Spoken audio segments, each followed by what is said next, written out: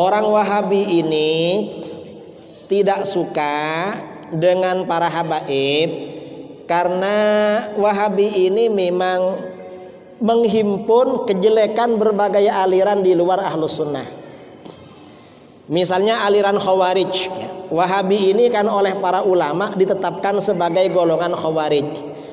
Khawarij ini akidahnya yang paling jelek mengkafirkan dan menghalalkan darah umat Islam di luar golongannya. Wahabi ambil ini. Wahabi ambil. Mengapa? Karena ini paling jelek di Khawarij. Cuma Wahabi lebih jelek dari Khawarij dulu. Mengapa? Kalau Khawarij dulu yang dikafirkan itu pelaku dosa besar. Orang berzina, orang berbohong, orang membunuh orang ini kafir kata Khawarij. Kalau Wahabi yang dikafirkan itu pelaku amalan-amalan sunnah. Istighatsah, tawassul, tabarruk itu amalan sunnah dikerjakan sejak masa Rasulullah SAW para sahabat dikafirkan oleh Wahabi. Jadi Wahabi ini lebih jelek dari Khawarij. Nah, lebih jelek. Khawarij yang paling jelek ya Wahabi. Paling jelek. Kemudian ada kelompok namanya Nawasib. Nawasib ini artinya apa? Kelompok yang tidak suka kepada keluarga Nabi. Ini Nawasib. Ini Wahabi juga menjadi nawasib. Karenanya mereka gak suka sama keluarga Nabi. Ini bukti kalau mereka memang tidak ikut Al-Quran hadis. Karena Al-Quran hadis ini memang umat Islam ya wajib cinta kepada habaib, zuriat keluarga Nabi. Tapi Wahabi malah benci kepada para habaib itu. Jadi ambil yang paling jelek dari aliran. Ya pokoknya ada aliran yang jelek, Wahabi kadang ambil pemikirannya itu. Kadang ambil. Ada kesamaan dengan aliran-aliran sebelum Wahabi itu. Tentunya aliran di luar ahlus sunnah wal jamaah itu. Selanjutnya, apa betul ahli sunnah wal jamaah mendahulukan akal daripada dalil Al-Quran dan sunnah? Ini fitnah atau Wahabi pandai-pandai? Ahlus sunnah wal jamaah itu tidak mendahulukan akal daripada nas Al-Quran dan hadis. Yang betul bagaimana ahlus sunnah wal jamaah itu memahami Al-Quran dan hadis itu menggunakan akal. Wahabi tidak menggunakan akal. Mengapa begitu? Ini Wahabi. Wahabi ketika dialog, saya pernah dialog dengan Wahabi di Surabaya sama di Malaysia. Saya bilang ayat yang muhkamat menurut ahlus sunnah wal jamaah adalah ayat surat al-ikhlas. Qul huwallahu ahad, Allahus samad, lam yalid wa lam yulad wa lam yakul lahu ahad. Dan ayat laisa kamitslihi syai'. Lalu kata Wahabi, ayat yang muhkamat istawa. Ar-Rahmanu 'alal arsy istawa. Saya tanya pada dia, mengapa istawa muhkamat? Kata dia, karena di dalam Al-Quran disebut enam kali. Saya kejar dia, apa dasarnya kalau disebut enam kali lalu muhkamat? Lalu dia terdiam. Kalau kami ahlu sunnah wal jamaah ayat yang muhkamat, yang jelas maknanya ayat tadi surat al-ikhlas. Mengapa surat al-ikhlas? Karena sabab nuzulnya ayat itu ayat itu turunnya sebagai jawaban terhadap pertanyaan orang musyrik dan orang Yahudi kepada baginda Rasulullah SAW yang bertanya tentang sifat-sifat Tuhan. Orang musyrik dan orang Yahudi bertanya tentang sifat-sifat Allah, lalu turun surat Al-Ikhlas. Karenanya surat Al-Ikhlas keutamaannya sepertiga Al-Quran. Orang baca surat Al-Ikhlas pahalanya seakan-akan membaca sepertiga. Kalau membaca tiga kali seakan-akan hatam Quran. Ini surat Al-Ikhlas. Karenanya di dalam hadis-hadis Bukhari, hadis Muslim diungkapkan surat Al-Ikhlas itu adalah sifatur Rahman. Karenanya kata para ulama, setiap kesimpulan ayat Al-Qur'an kalau bertentangan dengan kesimpulan surat Al-Ikhlas maka harus dijauhi. Mengapa? Karena ini yang menjadi ayat muhkamat. Saya bilang begitu. Lalu kata Wahabi itu karena istawa enam kali. Gak ada seperti itu. Kalau alasannya banyak-banyakan, istawa memang enam kali. Tetapi ayat Al-Quran yang membicarakan tentang akal di dalam Al-Quran dihitung ada sekitar 36 kali. Perintah Al-Quran agar kita pakai akal justru 36 kali. Nah, kalau kita agak pakai akal berarti kita meninggalkan perintah 36 ayat Al-Quran. Jadi begitu. Wahabi itu ya gak ngerti itu. Gak ngerti. Coba kalau ada Wahabi tanyakan akidah mana ahlus sunnah gak punya dalil ayat Al-Quran hadis. Mana tanyakan. Pasti mereka gak mau. Sifat 20 atau sifat 20 sifat jais itu Al-Quran hadis dalilnya cuma Wahabi gak tahu mengapa ya karena mereka gak pakai akal kalau ahlus sunnah ini pakai akal, karenanya tahu itu. Jadi begitu. Wallahu a'lam. Berakal ya. Jadi jadi begini, kata Imam Al-Ghazali ya. Kata Imam Al-Ghazali dalam memadukan antara akal antara dari syariah Al-Qur'an dan hadis dengan akal itu ada tiga kelompok. Siapa? Yang pertama Mu'tazilah. Mu'tazilah ini hanya pakai akal, tetapi Al-Quran hadis itu ditaruh di belakang. Ini Mu'tazilah. Kemudian ada kelompok Mujassimah macam Wahabi, pakai Al-Quran hadis, tetapi tidak menggunakan akal. Nah, kedua-duanya sama-sama tersesat. Maka bagaimana ahlus sunnah wal jamaah pakai Al-Quran hadis juga menggunakan akal. Karenanya maka bagaimana? Karenanya ya karena orang Wahabi ini tidak menggunakan akal, hanya pakai Al-Quran hadis. Orang Wahabi ini bagaikan orang yang mencari kayu di malam hari, gelap gulita. Mereka bisa melihat, eh, orang orang Wahabi ini bagaikan orang yang berjalan di siang hari, tetapi mereka gak bisa melihat buta. Akhirnya mereka, akhirnya bagaimana? Gak bisa membedakan mana siang, mana malam, mana kayu, mana ular, gak bisa. Sedangkan orang Mu'tazilah itu bagaikan orang yang bisa melihat tetapi dia mencari kayu di malam hari yang gelap gulita. Gak bisa menggunakan mana kayu, mana ular. Ahlus sunnah wal jamaah bagaikan orang. Karena Al-Quran dipakai, hadis dipakai, akal dipakai bagaikan orang yang berjalan di siang hari pandangannya terang. Takbir. Ini ahlus sunnah wal jamaah. Jadi ada perumpamaannya memang. Mereka ini ya ibaratnya berjalan di siang hari tapi buta jadi kalau akalnya mu'tazilah ini terlalu dipakai jadi rusak kalau ahlus sunnah wal jamaah bagus karena dipakai tapi di, diukur dengan standar Al-Quran hadis. Kalau Wahabi masih orisinil, nggak pernah dipakai sama sekali. Pertanyaan selanjutnya ya. Uh, kita sering mendengar Wahabi itu serang-serang ahlu sunnah. Sekarang banyak ustadz-ustadz para alim menjawab sehingga muncul nasihat. Kita nggak mesti mempersalahkan perbedaan. Kita ukhuwah jaga ukhuwah. Sebenarnya sikap ahlu sunnah sebaiknya gimana ya? Jadi memang itu termasuk strategi Wahabi. Wahabi ini ketika jamaahnya ini orang-orang awam ahlu sunnah maka akan disampaikan masalah khilafiyah. Kamu ziarah kubur tak betul. Itu bid'ah. Kamu maulid nabi tak betul. Bid'ah. Semuanya dibid'ah-bid'ahkan. Kamu sampai kunut gak betul. Bid'ah. Kamu baca tahlil tak betul. Bid'ah. Begitu ada ustadz-ustadz menyampaikan ini dalilnya ziarah kubur. Ayat Al-Qur'annya ini hadisnya ini Ini dalilnya tahlil, Al-Qur'annya ini, hadisnya ini. Apa kata mereka? Kita ukhuwah lah, jangan bicara perbedaan. Padahal mereka yang memulai. Mereka ini sebenarnya orang yang zalim, tapi ketika dilawan mereka menampakkan seakan-akan mereka dizalimi. Mereka ini sebenarnya pelaku, tetapi menampakkan seakan-akan mereka ini korban, mirip orang Yahudi di Israel. Mereka ini teroris tapi seakan-akan membela diri melawan teroris. Mirip mereka. Cara logikanya itu. Cara logikanya. Sikap ahlus sunnah wal jamaah bagaimana?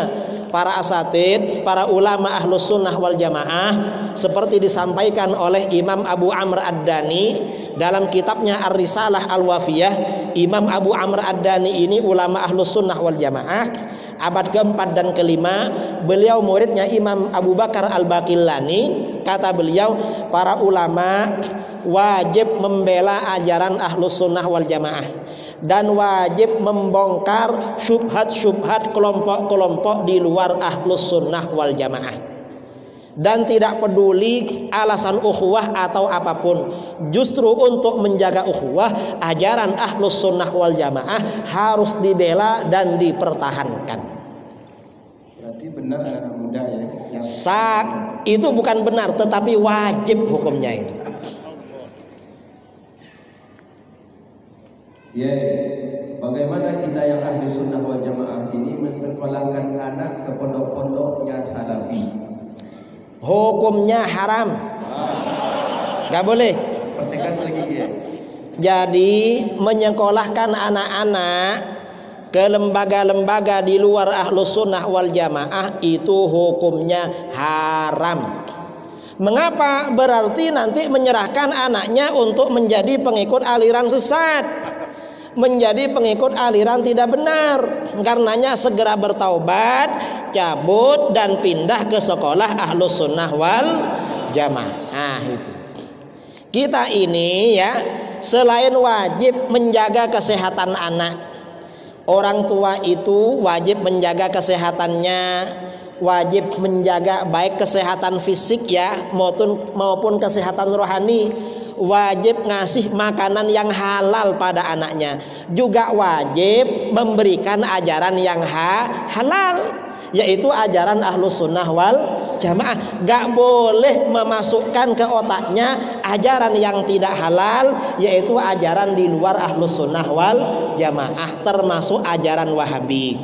Ini kebetulan ya guru kita semua Ustadz Abdul Somad juga Ustadz Al-Nuf mendirikan pondok di Palas ya Pondok Nurul Azhar.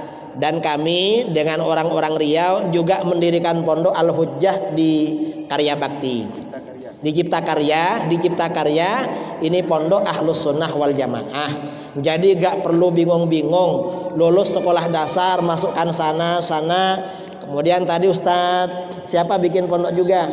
Ustadz Hasbullah bikin pondok juga As-Sakinah di di Kampar di mana-mana ada Insya Allah sebentar lagi Ustadz Dr. Zulhendri juga bikin lagi.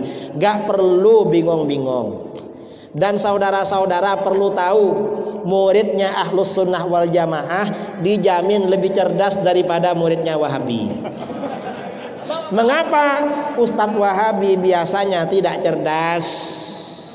Tak ada akal ya. Tak ada akal. Tapi kalau ingin menjadi orang bodoh, masukkan ke sekolah Wahabi. Ya, ya. Kenapa ahlu sunnah di Libanon sering mereka sebut ahbash? Apa tujuan Wahabi menyebut istilah itu ya? Ya, ada satu kelompok ahlu sunnah di Lebanon, murid-muridnya Syekh Abdullah Al-Habashi Al-Harari. Beliau sudah wafat kira-kira 11 tahun yang lalu. Karena mereka ini sangat keras pada Wahabi, akhirnya oleh Wahabi dibilang ahbash dan difitnah punya ajaran macam-macam. Orang Wahabi di Saudi Arabia punya buku berjudul Al-Mausu'atul Muyassarah fil Adyan wal Afkar wal Madzahib al Mu'asyirah yang dibagi-bagikan gratis semua kelompok di luar Wahabi dijelek-jelekan di fitnah termasuk Ahbash. Ya Wahabi memang tukang fitnah memang karenanya hati-hati.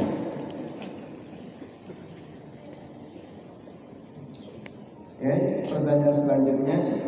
Nabi istri lebih dari Lalu kata Wahabi, nikah poligami itu hukumnya sunnah ya? Apa betul ya? Kalau poli, poli, poligami itu bukan apa? Bukan sunnah tetapi jawas, ya. Jawas. Cuma bagi orang yang tidak cukup dengan satu, kalau cuma satu dia masih maksiat, ya. Dia sulit menghindari maksiat dan bisa adil, dianjurkan poligami nambah satu lagi. Kalau masih kuat lagi tambah satu lagi sampai empat dan itu bukan ajaran Wahabi, itu ajaran Ahlus Sunnah wal Jamaah itu.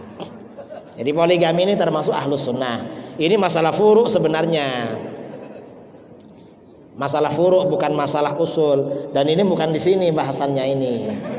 Kalau ingin konsultasi poligami sama beliau Ustadz Al-Nof, Insya Allah dikasih jalan gitu. Ya, Wahabi Salafi meyakini Allah bertempat di atas langit dengan dalil yang sangat sangat mereka pakai adalah dalil Isra Mi'raj. Bagaimana menanggapi ini?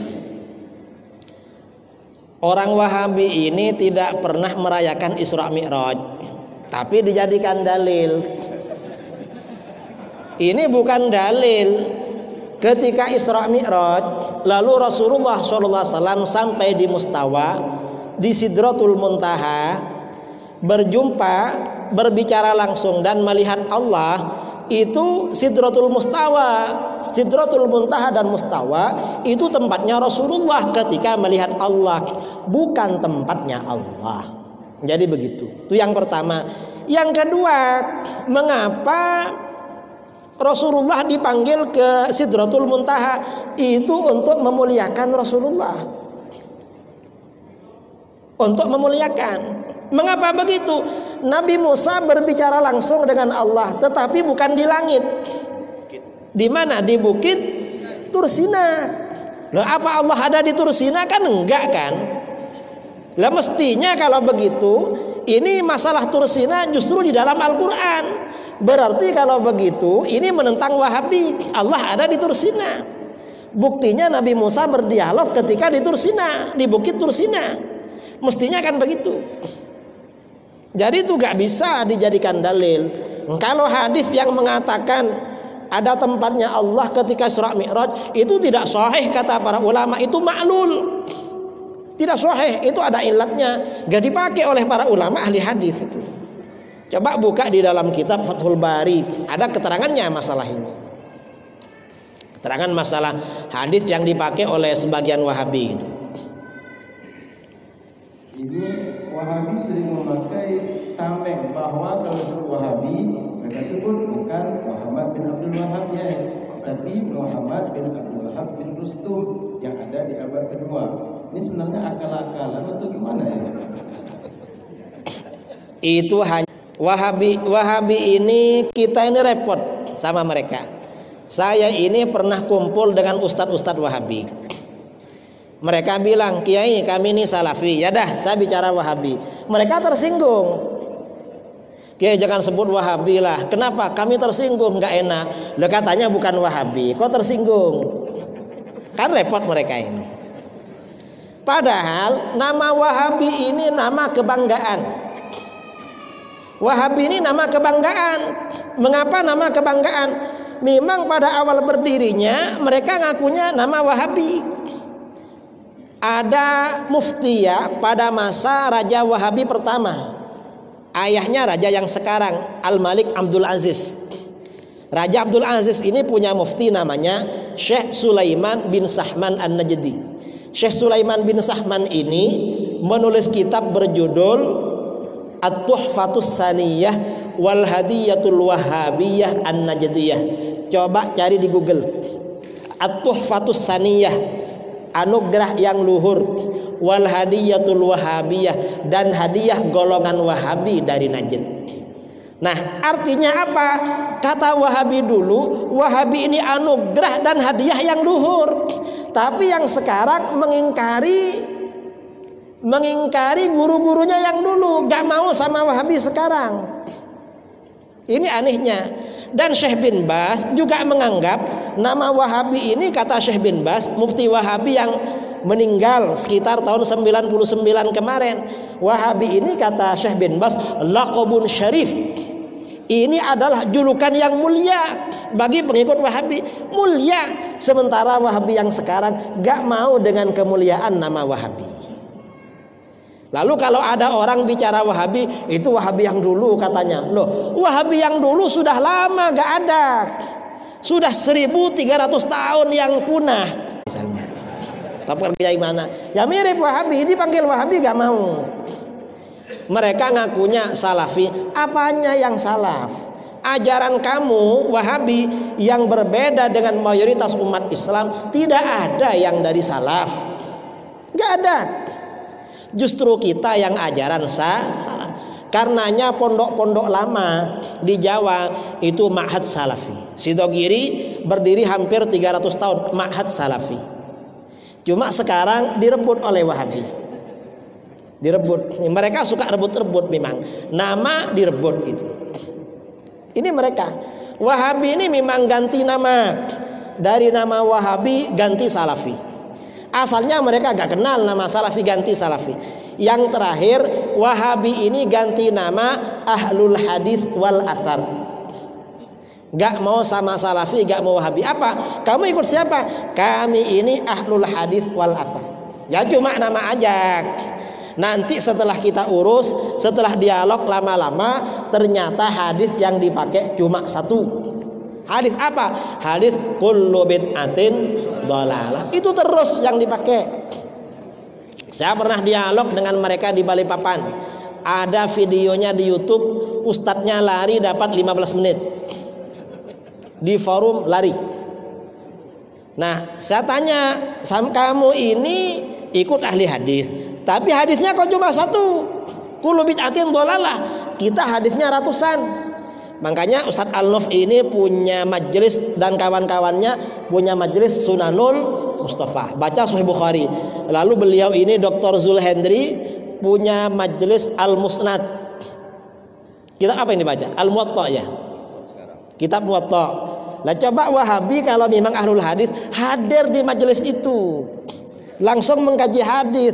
Jangan cuma kulubit atin dolalah hadis itu jumlahnya ratusan ribu masa ikut ahli hadis hadisnya cuma satu akhirnya saya bilang pada mereka kalau begitu kamu bukan pengikut ahli hadis. Ikut apa? Kamu pengikut ahli hadas. Dan itu hadas akbar. Saya bilang begitu. Ya. iya karena mereka ini memang hadas akbar memang itu. Saya kira itu.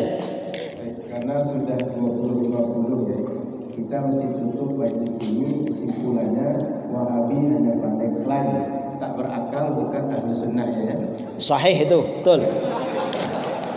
Jadi kita besok saya jawab ini sisakan ada pertanyaan besok tulis di kertas atau kirim di WA untuk kita bacakan di masjid Babu Salam besok insya Allah dan masih ada di masjid Islamic Center Bangkinang Sabtu malam dan Ahad malam di Masjid Al-Ikhlas. Jadi silakan ditulis nanti kirim di WA boleh dan mencatat kita bacakan supaya pertanyaannya itu tak sama dengan sekarang ikuti di live uh, Facebook Masjid Raya Anwar. Jadi ikuti kajian ini lihat pertanyaan yang sudah yang belum yang ditanyakan. Masih banyak borok-borok yang masih bisa diungkap agar kita tahu ternyata banyak kudis yang bisa kita obati dengan kajian-kajian mengokohkan akidah al-sunnah wal jamaah insyaallah. Sekali wajib para pemuda al-sunnah untuk mengungkapkan kesesatan, kesalahan yang dilakukan oleh para wahabi dan haram hukumnya memasukkan anak kita sekolah di sekolah di tempat tahfiz di madrasah wahabi supaya makan halal akidahnya halal Betul ya? Sahih itu. Nah, betul, betul. Ditutup silakan ditutup ya. Saya cuma meringkaskan sedikitnya ya sampaikan. Ditutup apa maksudnya? Sudah, ditutup majelis. Saya kira begitu dari tadi baik ceramah maupun tanya jawab atas kurang lebihnya mohon maaf yang sebesar-besarnya. Mudah-mudahan Allah selalu bersama kita. Allah melindungi kita, menguatkan kita dan menjaga kita dan keluarga kita, memberikan hidayah kepada kita dan orang-orang sekitar kita. Dari saya kurang lebihnya mohon maaf. Baca tasbih majlis subhanakallahumma bihamdika asyhadu an la ilaha illa anta astaghfiruka wa atubu ilaik. Aqulu qawli hadza. Assalamualaikum warahmatullahi wabarakatuh.